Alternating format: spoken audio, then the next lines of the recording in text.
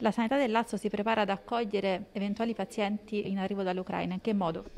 Ma noi abbiamo dato la disponibilità al Sistema Nazionale di Protezione Civile, qualora ce ne fosse bisogno, di eh, accogliere eh, coloro che hanno bisogno di assistenza sanitaria, soprattutto i più piccoli e i bambini. Lo abbiamo già fatto nel passato in altre crisi, eh, sia che ha riguardato l'Afghanistan o durante il Covid abbiamo preso pazienti provenienti da altri stati, da altri paesi europei, ad esempio la, eh, la Romania, ma non solo. Per cui il sistema è stato allertato, attendiamo indicazioni eh, da parte del governo, ma noi ci siamo e ci siamo anche qualora ci fosse bisogno di eh, mandare dei team medici presso oh, le zone che si riterranno opportune a prestare assistenza.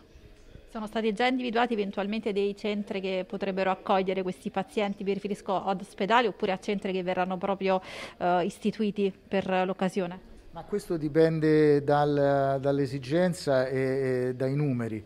Eh, noi sicuramente eh, idea di secondo e di primo livello sono stati tutti allertati e sono, hanno diciamo, delle competenze per quanto riguarda tutto ciò che necessita eh, per assistere questi pazienti. Ecco, adesso poi dipenderà dalle esigenze della protezione civile nazionale.